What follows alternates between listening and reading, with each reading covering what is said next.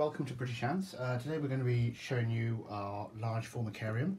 Um, we're going to be doing videos for a lot of our products so that we can link these back to the website. So this is the first one we're doing. Uh, this is our largest one. We've got a nesting area at the front and we've got uh, various ports that are located, here we are, around the product. So we've got one there, just pop that back in place. We've got another there and we've got another there. So we've got three ports that uh, when our colony grows that we can keep extending to these. Uh, they feature quite a nice size lid to the outworld and uh, the ants can come and go for a small hole down there. Uh, this will be great for a species uh, like Lasius, uh, that kind of size, Solenopsis, um, anything that isn't too large. You're looking at about uh, 8 millimeters um, max for the queen uh, or the colony that you put in here. So nothing too large um, in size. But this will house around 2 to 300 ants depending on on the species. Uh, and as I said you can extend to these. Uh, they feature a nice mesh grill which is really fine um, which is excellent. So it means it avoids escapes. Uh, you can add um, a layer of anti-slip on the underside. Uh, if I'll just get some of that.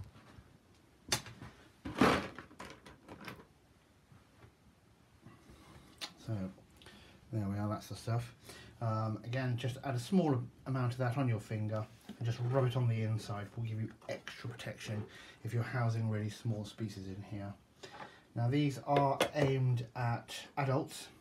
Um, that's not to say they can't be used by younger people, um, but as such, the hydration chamber here, which is what you'll need to keep the uh, nesting chambers moist, depending on the species that you're keeping in there, um, has a very small hole that's at the top there. Uh, and the best way to hydrate that is with a syringe, which is why these are aimed at the, the kind of adult market. And you need quite a fine syringe. We do sell, again, separately the syringes and fine needles and um, 2 mil is usually good enough to hydrate that. It's very very visible so it's very easy to uh, see when it needs topping up and being a really nice small hole means that that won't dry out quickly because the larger that hole is the quicker that will dry out. Uh, they're, I think they're fairly well made. Um, they take moisture very well because a lot of acrylic products can warp um, so that's something to be aware of when you're you're purchasing uh, formicariums. Um, but these ones don't. We're going to be housing um, a colony of Solenopsis uh, ourselves in here for display purposes, which you can follow us in one of our later videos. But that won't be until February. Um, get a bit of close-up on those. We also do a smaller version of this which is this one here. Same kind of principles. Uh, as you can see, it's got a larger nesting area. Uh, this size is great for starting out on, um, but again, you've got plenty of ports. So if you add the crystal clear formicarium tubing, which is this stuff, um, you can extend these. So if we take a pair of scissors to this,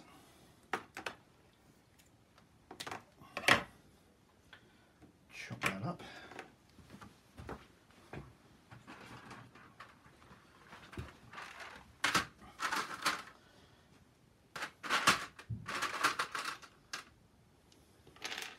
Now the, the tubing that we sell, the crystal clear tubing, is designed to fit straight into the product.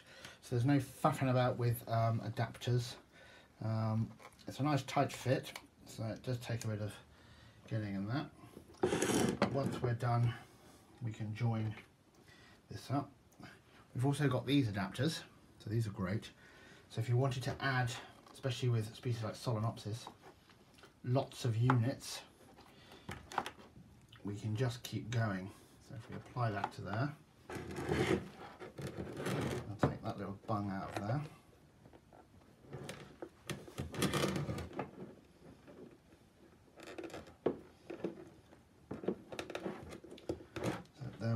joined two units up already. We've got some third exit here where we could add one of our nesting chambers. So we just apply the crystal clear tubing to that.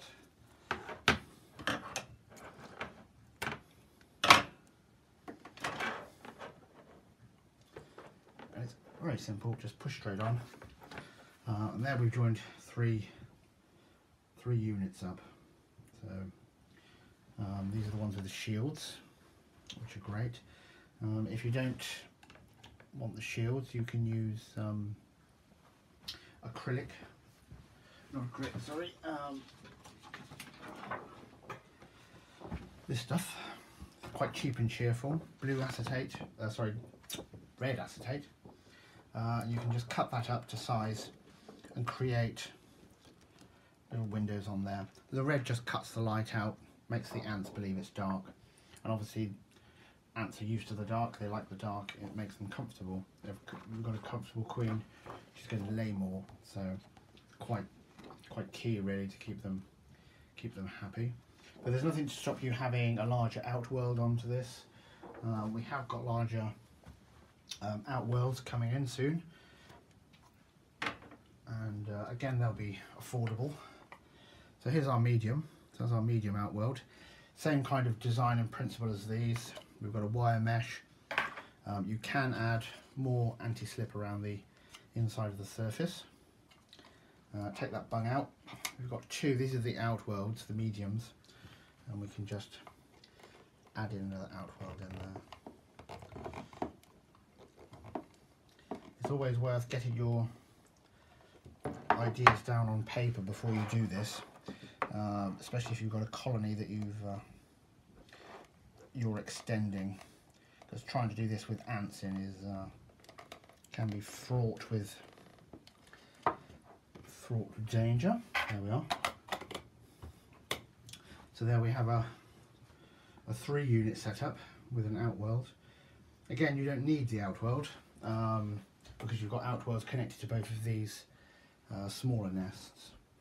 Um, but if you, your, your colony is obviously growing, um, then you'll find it easier by having a kind of satellite uh, outworld.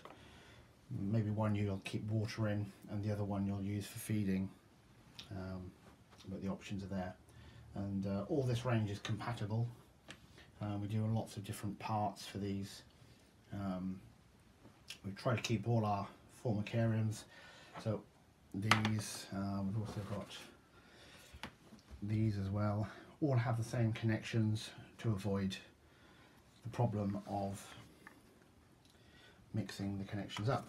Because we've noticed with some stores that the uh, they use about eight or nine different connections going from six millimeter up to 32 millimeter. Um, and it's very frustrating. It's frustrating um, for me because I've always tried to match up to as many other companies as I possibly can. Um, but that's um, something that I think we all need to work on as an industry. But uh, again, it is dependent. So you'll see on the website that we've got a separate section uh, in the accessories where you've got 20 millimeters uh, connections. Those all the 20 millimeters are. Find the product are designed for the atta, so the leaf cutters, the large.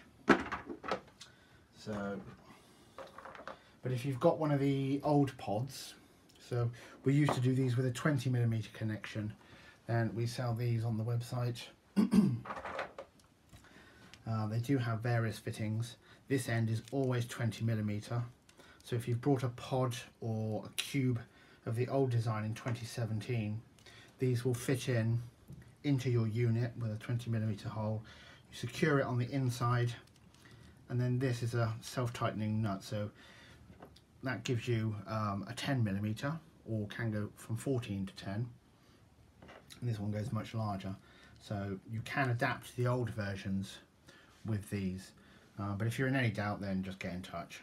Um, send us a photo and we can match up what you need it's usually easier than you buying things that you don't require Uh, but say all this range is um, crystal clear, so all these fit all the other things. So we try to keep that fairly simple. Uh, if you have any questions, pop the uh, questions down below and um, we hope to hear from you. Thanks.